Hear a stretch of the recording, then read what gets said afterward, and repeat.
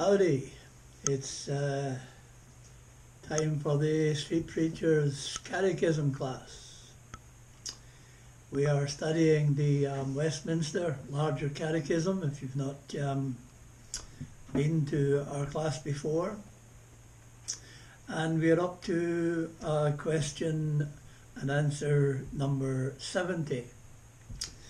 We have been looking at the uh, mediator, the Lord Jesus Christ, the only mediator and the only saviour of sinners, and uh, what he came to do and who he came to do it for. And um, how, of course, people, men and women, such as you and I, are made partakers of his mediation work.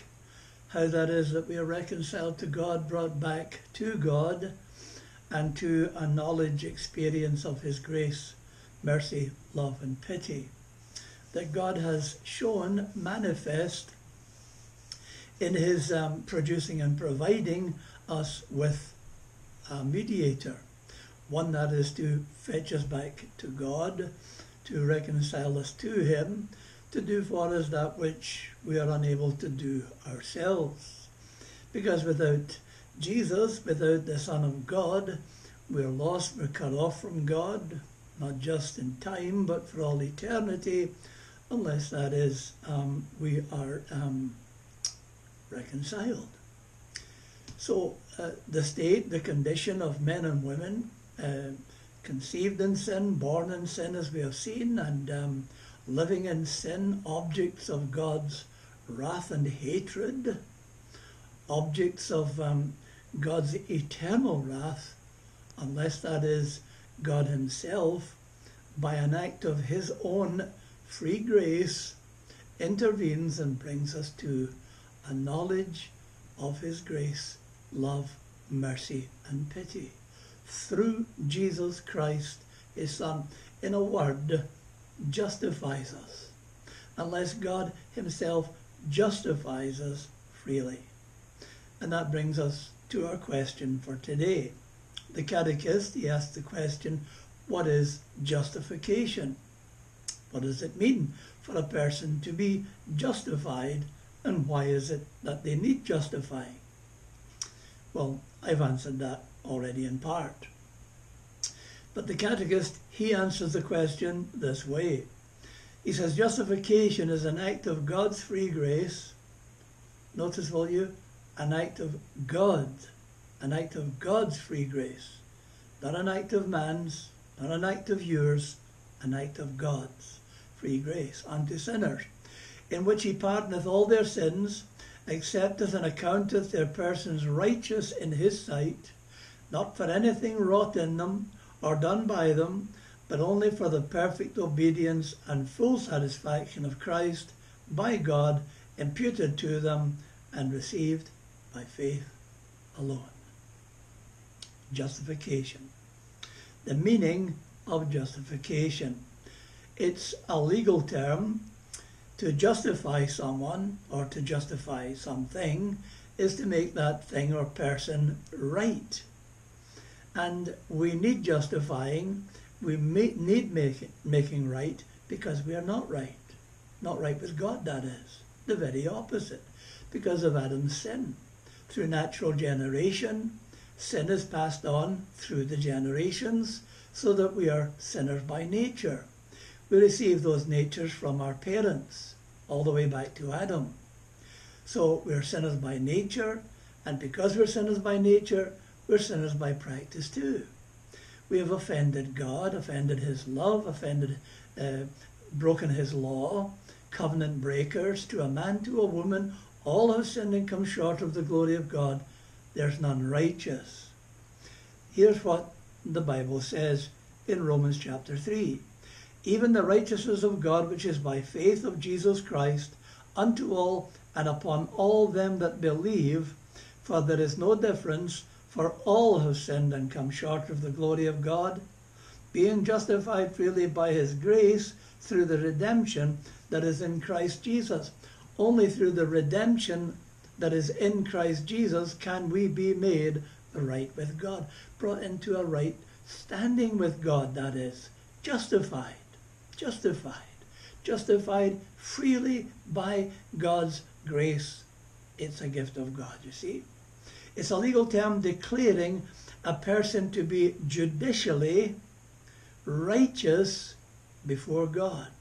Righteous. Um, righteous, that is, not because of anything you do, not because of anything in you, but righteous because of another, because um, the righteousness of God has been reckoned to your account. So it's a legal term to justify, to declare. When a person believes in Jesus, God the Father, if you like, uh, dons the judge's cap, brings down the gavel, and declares it's a judicial declaration, a legal declaration, you see. And God declares that sinner not just to be not guilty, that's not enough, but declares that person to be righteous, perfectly righteous, justifies them. But it's an act. As the Catechist says, it's an act of God's free grace unto sinners. It's something that God does sovereignly, freely. It's an act of his grace and of his love for those whom he has chosen before the foundation of the world, his elect. And because of this, you see, their sin is freely pardoned, whatever their sin might have been. However much they have sinned, and whatever kind of sin they've been involved in, their sin is freely pardoned without cost, without price. It's the prophet's invitation in the Old Testament come, buy bread without money. The bread of life, that is, the living bread. Jesus, the only mediator, the one who alone can give you life. Sin freely pardoned and cancelled, cancelled for the sake of and by Christ's atoning blood on the cross. Which takes us back, you see, to the mediator's work. His humbling himself unto death, the death of the cross, taking upon himself the form of a servant, emptying himself, uh, veiling his glory, uh, coming into this world as a man in human nature, and in that nature, still yet God, going to that cross, dying, shedding his blood, in order that sinners might be washed and cleansed and, and pardoned, freely pardoned. The free gift of God. The wages of, of sin is death, but the gift of God is eternal life through Jesus Christ our Lord. And so, you see, forgiveness is wonderful. The heart of the gospel, that there is forgiveness with God, that he may be feared, says the psalmist. Forgiveness is an essential. We need God's forgiveness, no doubt about that. But we need more than forgiveness. That's not enough. That's not enough. That wouldn't get you to heaven. That wouldn't get you into a right standing with God. We need a positive and we need a perfect righteousness. God needs to be able to look upon us as if we had never sinned. How can he possibly do that? Because you have sinned. We have all sinned, as the Bible says, Romans 3.23 again. For all have sinned and come short of the glory of God. So how? And even, even as Christians, we continue to sin and will do to the end of our course, the end of our lives. So how can God possibly look on any man, any woman, as if they had never sinned? Well, when he reckons to them, when he credits to them, to their account, undeservedly, without favour, yeah, without any them having done anything to earn it, deserve it, in any way whatsoever. God accounts, God reckons to their account a righteousness that's not their own. Hence you see the work, Jesus' humiliation. His coming, you see, made of the woman, made under the law, and what else? Living his life.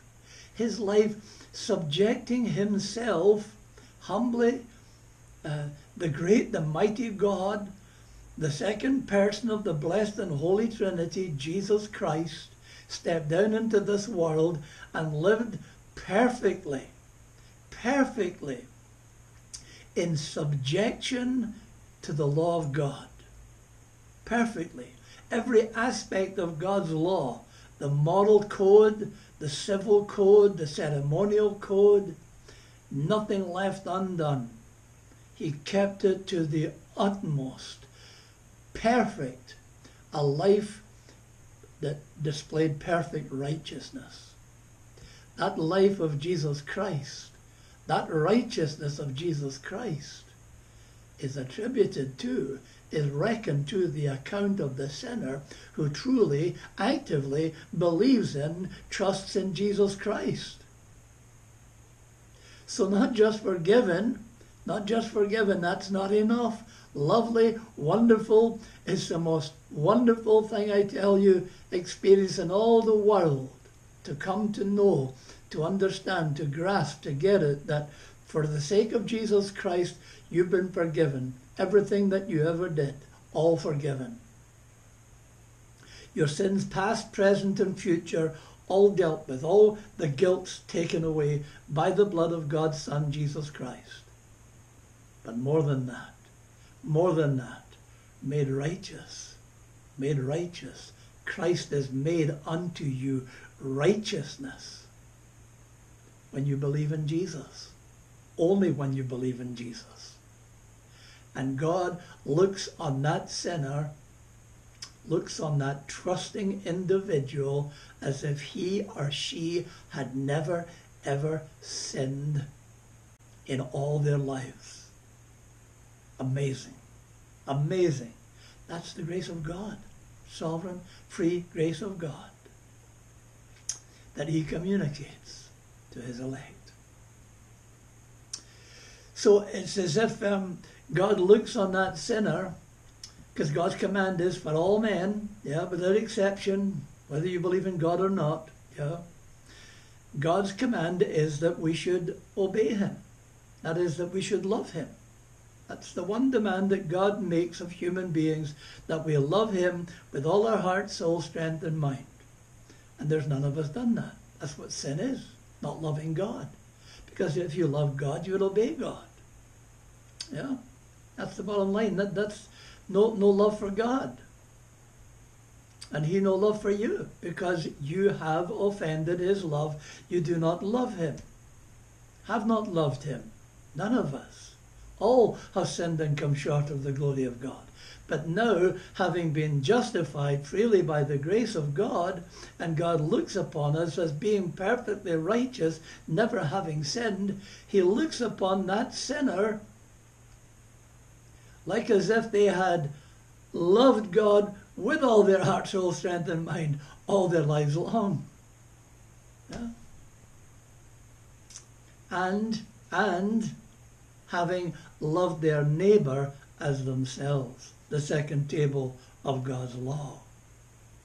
But without this righteousness, without being justified, without being made righteous by faith, by the grace of God through faith in Christ, there's no heaven. Without righteousness, you'll never see heaven. You'll never see the inside of heaven. When you die, you, you remain in that state of death in which you were conceived and born. You came into the world in a state of existence, not knowing life. You don't live until you come to partake of the bread of life. And what is death? Death is to be in a state of, um, uh, is to be a, an object of divine wrath, separated from God. And that condition, that state, will carry on for all eternity. Unless by the grace of God, a free, an act of God's free grace intervening and justifying you by faith in Jesus Christ and making you live. Making you live. Forgiving, pardoning all your sins for the sake of Jesus Christ and his atoning blood, your guilt, your sin, all of it cancelled and given a righteousness, the righteousness of God that's revealed in Jesus Christ alone. That righteousness. When you stand before God in that day, and you will, we all will, you need to be found trusting in another righteousness apart from your own. An alien righteousness, one that belongs to another, God's righteousness. And that righteousness is communicated is reckoned to a man or woman's account when they believe truly and actively believe in Jesus Christ, the Son of God. But the door will be closed to you. You stand before God in that day and you're in the filthy rags of your own righteousness, then the door to heaven is shut tight, watertight. Yeah?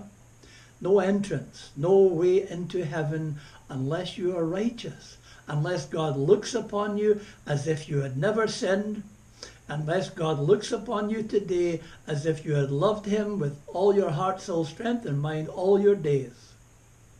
No heaven, because no righteousness. Righteousness is a requirement. God has provided the necessary righteousness. When you take Jesus, when you take the bread of life, when you partake of the bread of life. He says to you, come and eat. When you come and eat, when you come and dine, then God reckons his righteousness to you, to your account. You're home free. You're bound for heaven. In justifying, he accepts, God accepts the person rejected before that a reject, yeah, not acceptable to God, separated, alienated from God because of your iniquities, your lawless deeds, the prophet says. But in justifying, it's an act of God, remember, an act of God's grace, not yours, not mine. It's an act of God's free grace. When He justifies the sinner, He accepts their persons and he accounts their persons as being utterly, altogether righteous. That's the free grace of God. That's the meaning of justification. That's what God does in justifying sinners. And that's what he does in the gospel. And that's what he does in the preaching of the gospel. And why men and women need to hear the gospel. Why we need to preach the gospel. Why I'm preaching it today, every day every occasion I possibly can because men and women are alienated from God, cut off from God, and the only way that they can be reconciled to God is if God justifies them. How? By my gospel that I'm preaching to you today. And that gospel needs to be preached because there's no other way of reconciling sinners. Yeah? Can't be saved without the gospel. How can they hear? How can they believe if, if, without a preacher? And if the preacher isn't sent, if the preacher doesn't go and tell them, we need preachers, gospel preachers. And men and women need to hear the gospel. They need to hear clearly and distinctly what it is that they are. Damn worthy sinners, cut off from the love of God, separated from God, unrighteous, unholy, ungodly, and not knowing it until, he, until they hear the gospel clearly and distinctly proclaimed. That they are damn worthy sinners and in desperate need of Jesus Christ in order to be saved.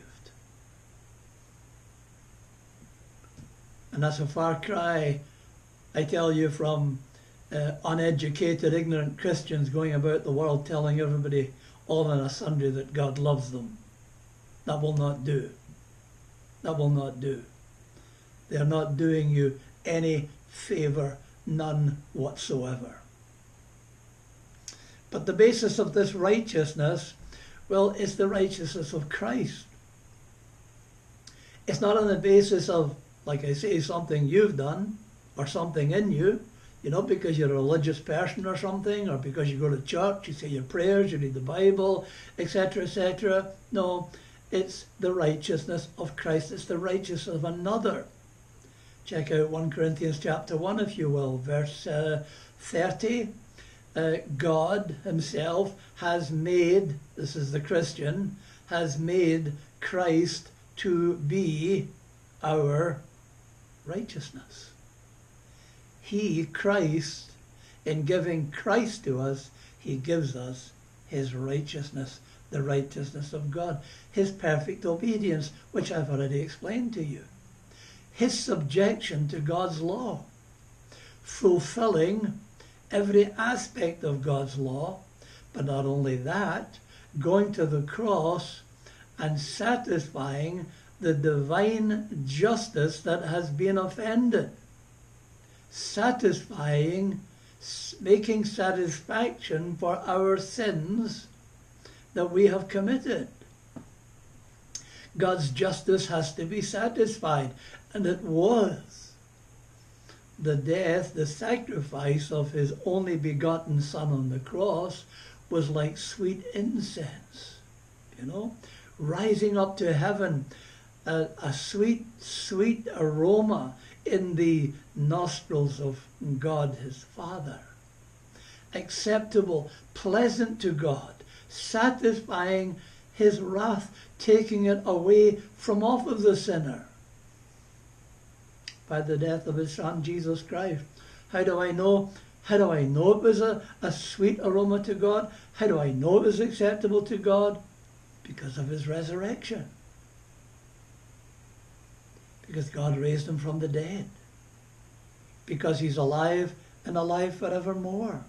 His perfect, perfect obedience and the full satisfaction that he has made, Jesus Christ has made, he's paid the price because you can't pay it. You can atone for your sins. No matter how good you try to be, no matter how religious you try to be, no matter how diligent you try to be in your religion, and there are many, many such people in this world who are very, very religious and very careful and very diligent about their religion. Jews and Muslims and uh, Jehovah's Witnesses and you name it. Nice people, kind people, some of them, but cut off from God. Cut off from God. The obedience of Jesus Christ and the satisfaction that he made through his death on the cross, all that is reckoned to the man or woman who truly believes in Jesus, who trusts in him, in the work of another, not the work of their own hands. Roman Catholic Church will tell you faith plus works, plus your good works. You can partly earn your way to heaven. That's damnable heresy. And then we've got what we call the federal visionists. You have them in the United States of America mainly. There are one or two here. And we have the um, Mr. N.T. Wright with his same damnable heresy here. A very popular man. Uh, his books sell very, very well. He's a heretic. And the heresy that he um, dispenses uh, throughout the world, along with the Roman Catholic Church and the Federal Visionists, is this salvation by faith and works. No, says God, faith and faith alone. The Catechist, remember, uh, but only for the perfect obedience and full satisfaction of Christ by God imputed to them. And here's the here's the operating um, operative factor, the last words, and received by faith alone, apart from any works. Cannot work your way back to God or into a covenant of friendship with God, only by faith. So the basis is Christ, His obedience, His satisfaction that He has made, His sufferings, His death cancels out our guilt, takes it clean away. Because Christ not only died, but He lived and he lived perfectly for every one of those whom he died for, his elect. He shall, thou shalt call his name Jesus, for he shall save his people from their sins. But then there are, I've already touched on it, but we need to work on this. It's so important. You need to understand this. If you're to get right with God, if you're to be justified. The false basis, and there are some false bases for justification. Any work in us, yeah, reformation of character. Well, if I, you know, I'll get my act together, you see, you know, I, will tidy myself up and then do this, you know. Some people hear the gospel and, you know, they've been living in, in profanity, they've been living in disgraceful sins and, and, and maybe to some degree, you know, it affects them, it, it convicts them, it, um, you know, it, it, it brings them to, you know, make some some reform to their lives. You know, maybe a drunkard, for instance, um, will be scared out of his wits and, and he'll give up drinking, and you think maybe thinks he's okay, you know, or um, or maybe some people would even become religious, you know, maybe even even start going to church, but you know, um, coming away from the drink, you know, and going to a church. Though there's nothing wrong with going to a good Bible-believing church, that doesn't make you righteous. You know, you can reform your character all you want, but your heart is still diseased. Your, your heart is still deceitful and desperately wicked. You're even deceiving your own selves. You know, when the Bible says that the heart is deceitful, you know, it, it is to this extent, you know, that we're deceived by others. We're deceived by the N.T. Wrights, the, the Roman Catholic Church and, and many others. We're deceived by that which is false evolutionism, all the rest of it. But because we've got deceitful hearts, we deceive our own selves. You know, we, we, we, we, we kid ourselves on that we can, we can make ourselves righteous. I can do this myself, thank you very much. Nice to hear this from you, Mr. Gospel Preacher, but you know, yeah, I hear what you're saying, and I need to tidy up my act a little bit you know, I need to be more diligent in my church attendance and, and, and so on. But I can do this my own. Thank you, Mr. Preacher. I don't need you. I can be as good as any Christian in any church. No, you can't. No, you can't. That's a false basis for justification. Any reformation that you can make is not enough. God must, by an act of His free grace, he must justify you. He does that. He does that sovereignly and freely. And of course, um, you know that, well, Jesus puts it in this way. He says you must be born again. Because you see, until a man is born again, you see, this is why people deceive themselves. This is why people seek to reform themselves, you know, thinking that will make them good enough because they've never been reborn. Because the Holy Spirit has never regenerated them. Because in regeneration, you see, in causing us to be born again, the Holy Spirit illuminates our minds. We're able to see, we're able to perceive, we're able to understand not just the kingdom of God, but we're able to understand for the first time in our lives what it is that we actually are, how sinful we are. Yeah? Oh no, God doesn't reveal the full extent of our sin when we come first to know Him, when we're regenerated. If He did that, it would crush us beyond belief. We, we, couldn't, we couldn't take that. But he brings us to see, brings us to understand that we are sinful, that we are cut off from God, that we are unacceptable to him without Jesus Christ his Son. But only the Holy Spirit, you see, I haven't got that power. I can tell you about your sin. I can tell you what the Bible says about your sin. But until you hear the voice of the Son of God, you will never live. And without the illuminating work of the Holy Spirit, you will never come to see yourself as you truly, really are, sinful to the uttermost. And under the wrath of God, the displeasure of God, the hatred of God, and in need of God's grace, mercy, and pity in His Son Jesus Christ. That you might be justified by God's act of free grace. Not something you do, anybody does.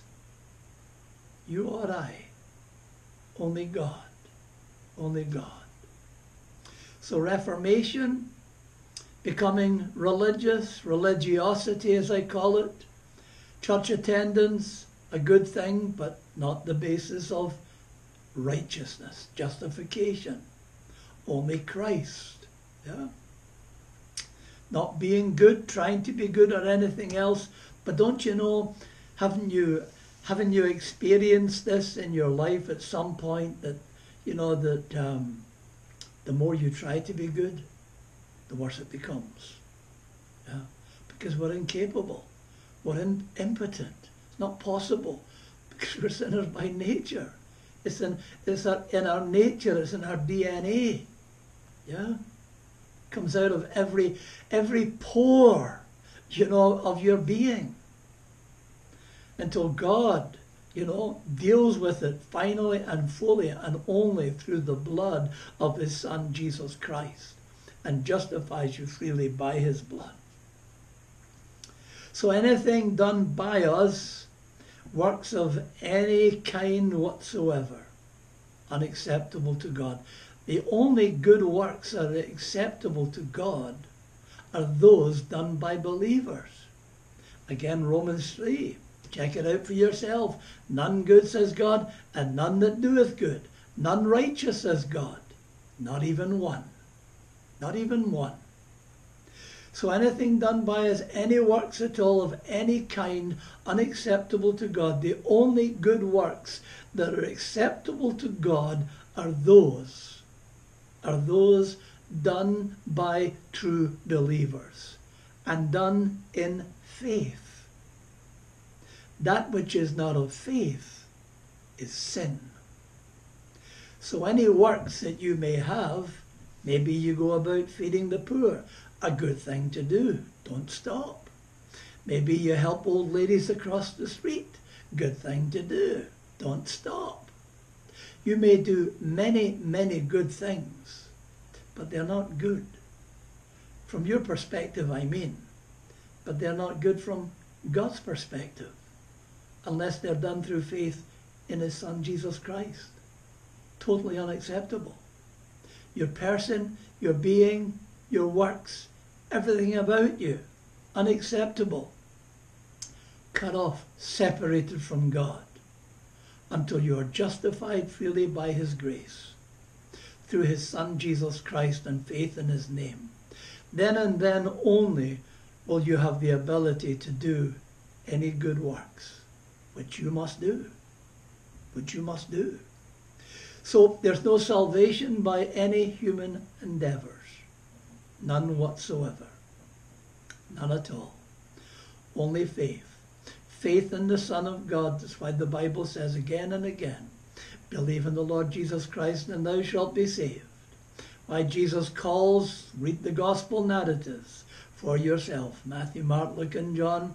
Read and see how that Jesus again and again calls men and women to the same and the one thing each and every time, whatever their state or condition might be faith. Only believe.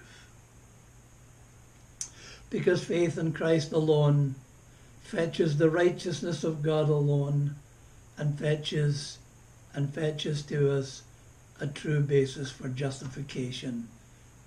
Christ, Jesus, the Son of God. Righteousness is imputed, it's reckoned to us, that is, to our account it's credited to the sinner's account. Picture it this way you've got a bank book, and here on the left hand page, the writing's all in red.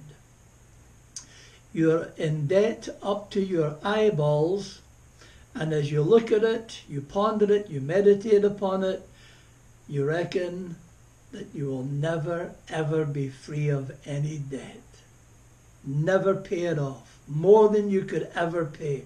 Millions upon millions upon millions, and your heart sinks in despair. Now transfer that to the spiritual realm. That's your sin, all in red, all debt. A debt that you cannot pay. You try to pay it yourself, Jesus says, you will be in jail for all eternity until you pay the last farthing. That is to say, you can never pay the debt. But the moment that the sinner believes in Jesus, trusts in Jesus, and is justified by an act of free grace, all that red ink disappears, and over on the other side is all credit, is all in blue ink. Wisdom, righteousness, sanctification, and redemption. All yours. Not because you did anything, not because you paid the debt off, not because you even tried to pay it off, not because you rubbed out the red ink, but simply God bestowing His love, His grace, His favour, undeserved favour, His um, grace, mercy, pity, and kindness upon you for the sake of His Son Jesus Christ. Credited to your account. Yeah? you opened up your spiritual bank book one morning and you discovered that all the debt was gone. And you're in credit. Yeah? You're not just in credit, you are super rich. You are super rich. You might not have any money in the bank. You might even be homeless. Yeah? Living on the streets but you're richer than any king, any prince in this world. Because you've got God. You've got Christ. You've got eternal. You've got everlasting life. You've got the glory, all the glory and riches of heaven belong to you. Super rich. By an act of God's free grace. Justifying you. Making you right with himself. Yeah. So faith, you see, um, understand this too, will you please? Faith is not a work. Okay?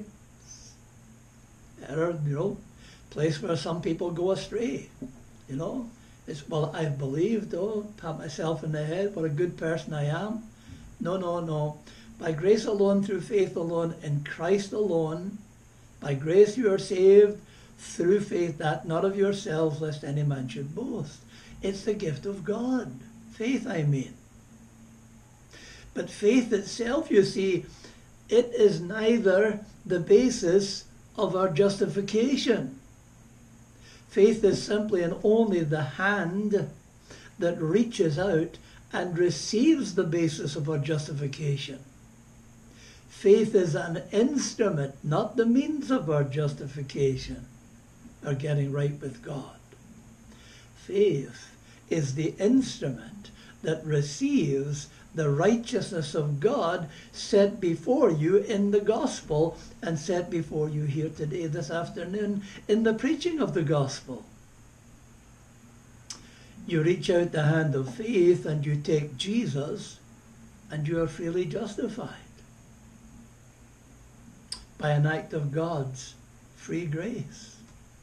Justified by faith on the basis of the person of Christ and the work of Jesus Christ alone, nothing else, no other.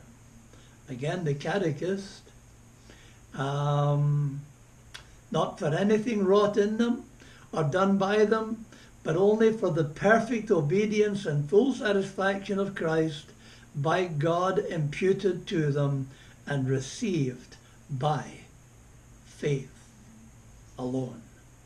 No other way. So you see, when you realize, when you begin to grasp, understand what it is that you are, without Christ, I mean, what it is that you are before God, the reality of that, of your state and condition, and what it is that you dare deserve, what we all deserve, and you begin to read the gospel and you begin to see what the mighty Son of God has done in humbling himself unto death, dying and rising again, living that life of obedience, that perfection of righteousness, um, and you begin to see, but only by faith, you begin to see the glory, the wonderful glory of the Son of God, the God man who came into this world to save sinners, wretched sinners like you and I. And when you see that through the eye of faith, Jesus says in his high priestly prayer in John chapter 17, check it out, he says there to his Father, he says that um, he would that his people would behold his glory, that they would be with him where he is. That's in heaven and that they would behold his glory in heaven. Well, I have to tell you, you will never see that. You will never behold his glory in heaven unless you behold his glory now, now in this world. Through faith, that is. See the wonder, the wonder of God's grace and love and kindness towards sinners in producing and providing for them a righteousness through his glorious Son, Jesus Christ, the only begotten of the Father. But when you see, when you see, I tell you, when you see by faith, when you see the glories of the Son of God, it will scatter all your fears. Yeah? Nothing left to fear. Nothing left to fear. When you're justified, when you're right with God, not, there, there's nothing left to fear, viruses or anything else. You have eternal life. All your doubts, all your objections, all your arguments about God and the things of God pertaining to God will all go. Your depressions, your poverty of spirit, um, your temptations and trials, and even for believers an anchor, an anchor for their souls that holds them firm in the midst of all the trials, temptations, all the storms in both life and death. Jesus says, I am the way, the truth, and the life. I am life, says Jesus. What is the opposite to life? It's death. What is death? It's sin's wages. The wages of sin is death. What is death? Death is to be separated from God. Death is to be an object of God's wrath. Now in time, but to be so for all eternity without life. And Jesus says, I am the bread of life. You partake of him you come to God's table and dine and partake of, you eat the bread of life. But if you don't eat the bread, talking in physical terms, if you don't eat the bread, it will never nourish you. It won't nourish, it won't feed your life. Spiritually speaking, if you don't dine upon, if you don't partake of, if you don't eat the bread of life, Jesus, you will not see life. You will never know life. Cut off from God for all eternity. We don't wish that for you. I do not wish that for you. It's why we preach the gospel. It's why we bring these things to your attention. That you might eat and live, that you might come to the bread of life, the true bread, the bread that came down from heaven, sent of his Father into the world to be a mediator, a means by which you could be reconciled to God by an act of God's free grace. And how does he do that? He does that by the preaching of the gospel, causing men and women whom he wills to be justified, to be reconciled to himself, causing them to hear the gospel and hearing the gospel by his Spirit in conjunction with his word, he brings them to see. He brings them to perceive, understand. He transforms them within and he gives them the ability. He gives them the desire. He gives them the longing. He gives them the will to come to and put their trust in Jesus Christ, who is the righteousness of God, and in believing and trusting in Him, reclining upon Jesus, resting in Jesus, and in all that He has done in His glorious person and works. That that person, that you, be reconciled to God made the righteousness of God in Jesus Christ. He who knew no sin, Jesus, he knew no sin, made sin for us. Sin was laid upon him on that cross in order that we might be made the righteousness of God in him